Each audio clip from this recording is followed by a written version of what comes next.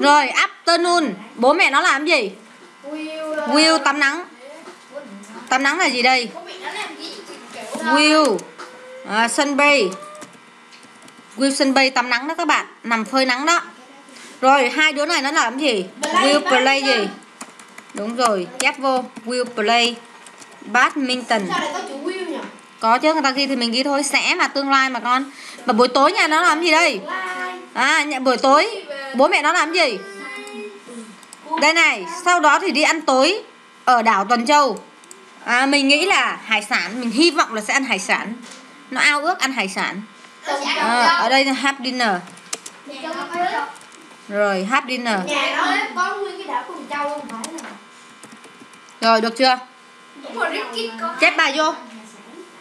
Rồi Rickit Ở đây có đứa nào Rickit giơ tay luôn hả? Rickit Con ruồi này. Sang là Rickit hả Sang? Ở đây bạn nào là đẹp trai, nhà giàu, học giỏi đâu để đối tượng của các bạn nữ? Úi dồi sao chỉ nó? Nhà nó giàu mà Nó mua Nó mua được cái đó cái sữa. À sữa 30 ngàn một cái sữa đó hả? Đúng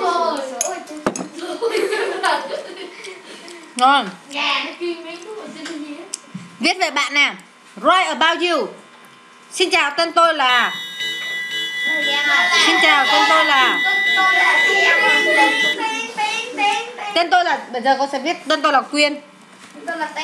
Tuần tới, chủ nhật tuần tới tôi nghĩ là tôi sẽ ở đâu? On the beach đi Ở biển đây Và buổi sáng tôi sẽ swim in the sea. Buổi chiều thì làm gì? Khám phá hang động Hay bảo Nhà con làm gì có tiền mà làm gì vậy bố? Thì cứ tưởng tượng đi. Ai đánh à, Ai ai à, bắt con nộp thuế đâu? Và buổi tối thì ăn hải sản.